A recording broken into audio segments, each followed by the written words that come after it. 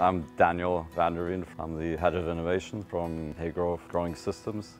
Today we're in our 1,000 square meter double skin tunnel. Haygrove added this their tunnel range as a alternative to glass for season extension. Tunnel was developed by Geogroup and we've partnered with them to supply it around the world. Studies have shown that double skin polythene is about 40% more efficient at retaining the heat than a standard glass house without thermal screens. In the past, people have expressed concern about the light transmission in double skin tunnels. In the recent years, technology has improved to such an extent that the light transmission of the two layers now is 82%, which is a big improvement to polythenes of the past.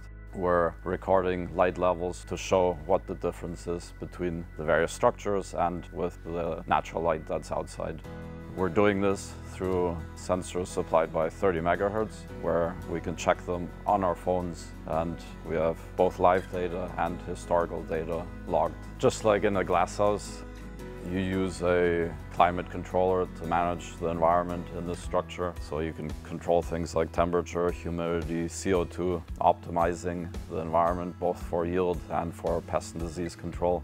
This tunnel is 9.6 meters wide. It's 4 meters to the gutter height. We have 8 rows of hanging substrate in the structure and the venting is done through a butterfly vent on the apex. Again, that's linked to the computer and vents on a rack and pinion system. We also have side venting on one of the sides and access through a middle track to get the fruit out of the field.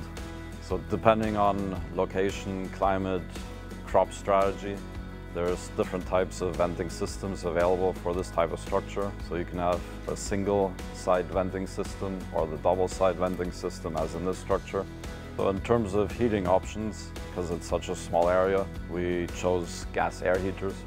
For larger sites, we would recommend heating pipes on the ground because it just provides a better, a more efficient way of heating the double skin tunnel, but also a more uniform temperatures and allows better climate control. So we planted this crop at the beginning of January. The variety is Malling Centenary. We have 12 plants a meter, a heavy tray plant. And again, the objective is to start picking the same time as a glasshouse and produce the same yield, the same quality with a similar profile.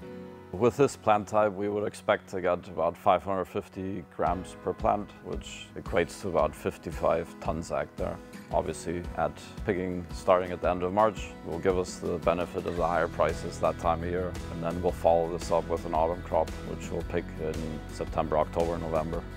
Other benefits of this kind of structure are labor savings, fully automated, which means there's no venting costs, maintenance costs are low because of the double skin. There isn't any ropes that go over the plastic, so there's, there's less wear and tear on both layers of the polythene. The outer layer acts like a cushion, which means there's less friction on the polythene, which again means Sarah series double skin tunnel has a longer life.